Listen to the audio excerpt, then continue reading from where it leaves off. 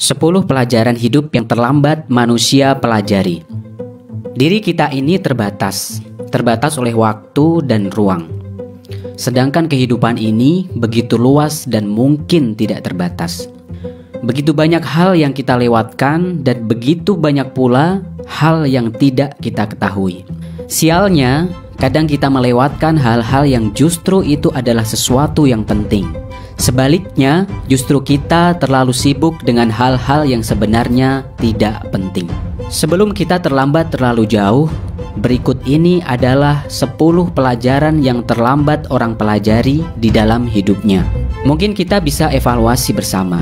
Siapkan secari kertas atau catatan, apakah kamu setuju atau tidak dengan hal-hal berikut ini. Yang pertama adalah hidup tidaklah lama.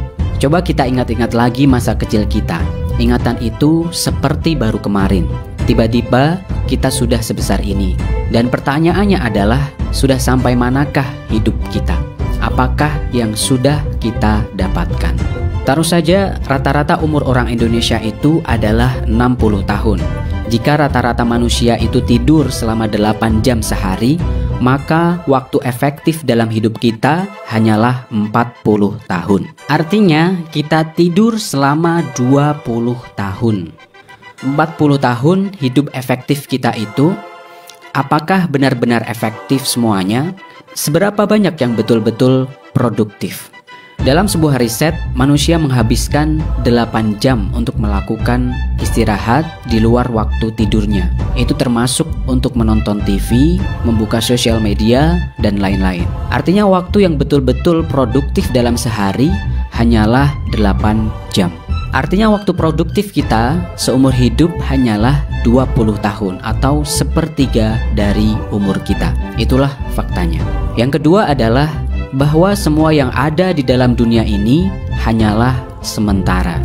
Hidup ini hanyalah sementara, termasuk segala hal yang ada di dalamnya. Kita harus sadari itu, sehingga kita tidak terlarut dalam hal-hal yang sementara itu. Hidup pasti ada sedihnya, tapi sadarilah bahwa kesedihan itu hanyalah sementara. Kelak pasti kita akan bahagia, dan bahagia itu pun juga sementara. Sadarilah bahwa kelak kita akan mengalami kesedihan juga. Oleh karena itu, jangan berlebihan ketika kita sedang sedih dan jangan berlebihan pula ketika kita sedang bahagia. Kesukaran juga sementara, kelak pasti akan ada kemudahan. Pertemanan juga sementara, kelak pasti akan ada perpisahan.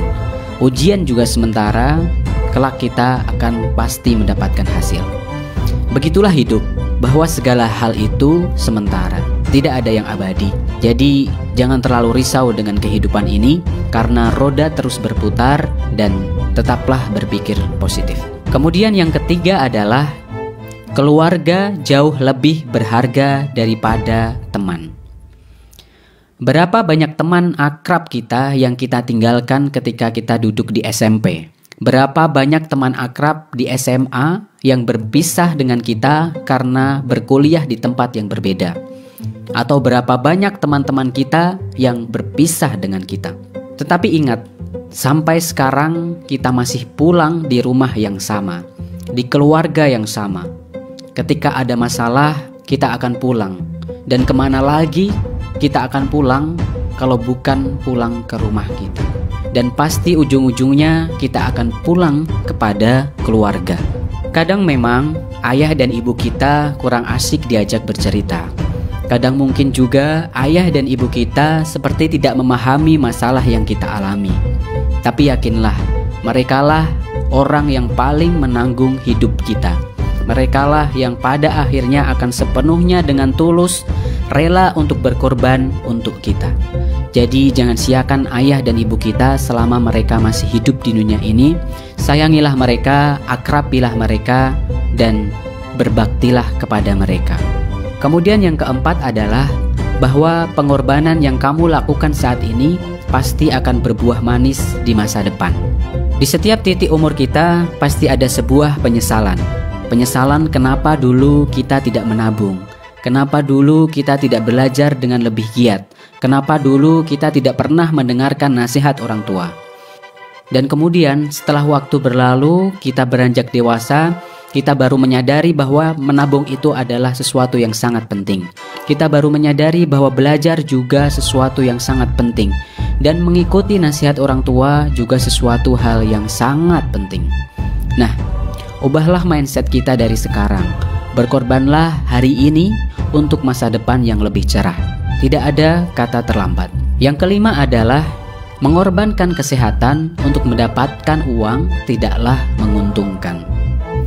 Harta terbesar diri kita adalah diri kita sendiri, yaitu jasad kita. Syukuri bahwa kita masih sehat, masih punya tubuh yang sempurna. Jangan pernah korbankan kesehatan kita hanya demi untuk uang lebih. Karena untuk apa mempunyai uang yang banyak kalau kemudian kita tidak bisa menikmatinya karena kita sakit-sakitan.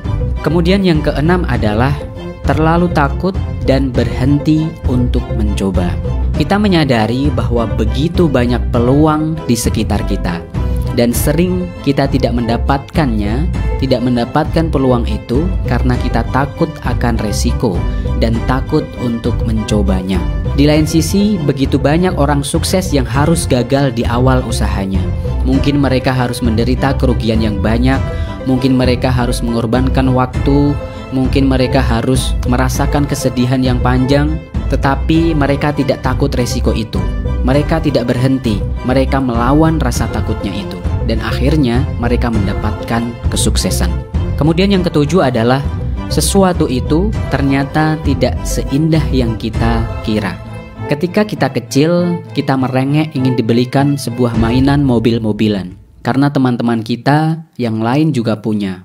Tapi ternyata setelah kita mempunyai mobil-mobilan, ternyata mobil-mobilan itu hanya kita mainkan sebentar, kemudian kita tinggalkan. Atau ketika orang lain mempunyai sepeda motor terbaru, kita juga pengen punya. Kita korbankan banyak hal. Kita jual motor yang lalu, kemudian membeli yang baru.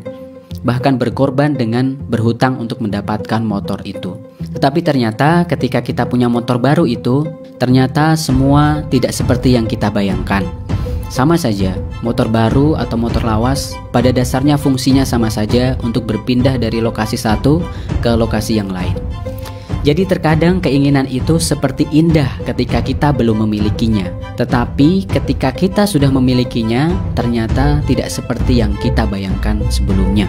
Jadi, syukuri saja apa yang ada dan sadari bahwa yang kita inginkan tidak seindah yang kita bayangkan, agar kita berhati-hati dan pandai mengelola nafsu kita.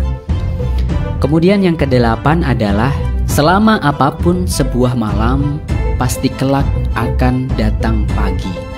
Tidak peduli seberapa berat hidup kita sekarang, mungkin sekarang kondisi kita masih sulit, Mungkin sekarang kita masih sedih, mungkin kita sekarang masih sedikit mempunyai uang, tapi yakinlah, jika kita terus berusaha, kita nikmati proses itu, yakinlah pasti kelak akan menemukan jalan keluar.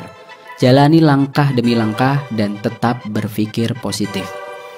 Kemudian yang kesembilan adalah marah dan balas dendam sama sekali tidak menguntungkan. Sesekali kita pasti pernah marah kepada orang lain, Mungkin memang karena orang lain berniat jahat kepada kita. Kita ditipu, kita dijegal, kita direndahkan, dan lain sebagainya. Kemudian di dalam diri kita pasti ada rasa marah. Dan dalam kemarahan itu pasti ada terbersit dalam diri kita untuk membalas apa yang orang lain perbuat kepada kita. Kita berpikir orang itu harus merasakan apa yang sudah kita rasakan, tapi ternyata itu sama sekali tidak menguntungkan bagi kita. Menyimpan kemarahan hanyalah akan membuat hidup kita menjadi sempit. Kita menjadi uring-uringan dan kita menjadi tidak bahagia. Di sinilah kita harus belajar tentang seni memaafkan. Memang sulit tetapi pasti kita bisa. Kemudian yang terakhir yang ke-10 adalah dunia ini lebih luas daripada yang kita bayangkan. Ada sebuah kata bijak, merantaulah maka kamu akan melihat sesuatu yang baru. Kita harus sadari bahwa dunia ini luas. Di luar sana masih banyak pengalaman baru, masih banyak tempat yang jauh lebih indah, masih banyak ilmu yang jauh lebih dalam, masih banyak teknologi yang jauh lebih canggih, dan tentunya masih banyak pengalaman yang jauh lebih menarik. Coba kita agendakan untuk berkunjung ke suatu tempat yang belum pernah kita kunjungi sebelumnya dan rasakan sebuah pengalaman yang baru. Pergilah cari pengalaman yang baru. Nah, itulah 10 pelajaran hidup yang terlambat manusia pelajari. Mumpung kita masih muda, mumpung masih punya umur, mumpung tubuh kita masih sehat, jangan sia-siakan waktu yang masih ada dan dan kita tidak boleh melewatkan 10 pelajaran ini.